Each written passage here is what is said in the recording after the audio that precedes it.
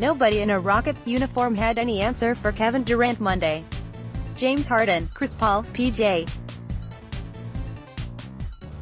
Tucker, Gerald Green, Nene any and all of them got hands put on them by Durant, as the Warriors ran away with a 119-106 Game 1 victory at Houston's Toyota Center. Durant drilled crossover pull-ups like they were uncontested layups, unbothered by any defender, for a team-high 37 points. Harden battled him at least in terms of points as he went for 41 of his own, but they came in vastly different ways.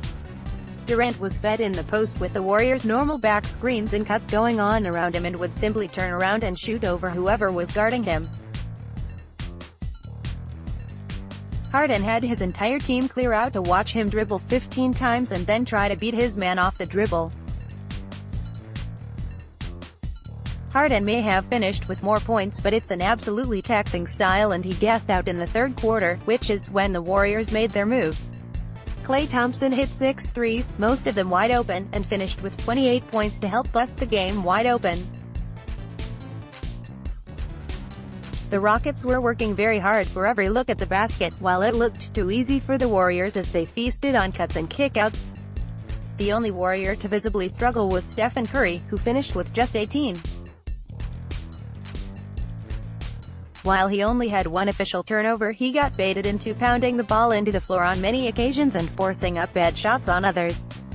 It's exactly what the Warriors did to Houston, with Paul and Harden running down the shot clock every single possession. For a coach like Mike D'Antoni, who patented his 7 seconds or less offense with the Suns, this team is the polar opposite.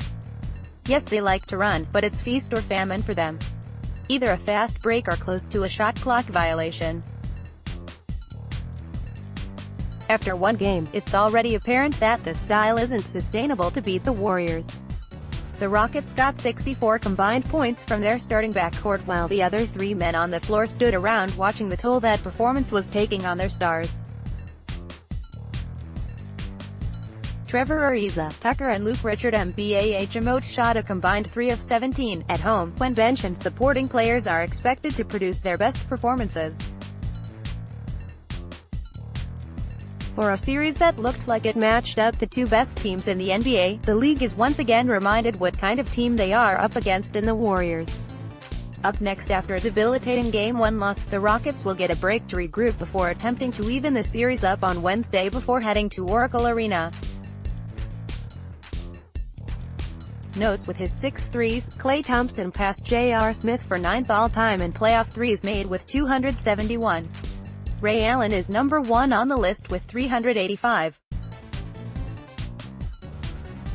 LeBron James, 346, and Stephen Curry, 330, are second and third respectively.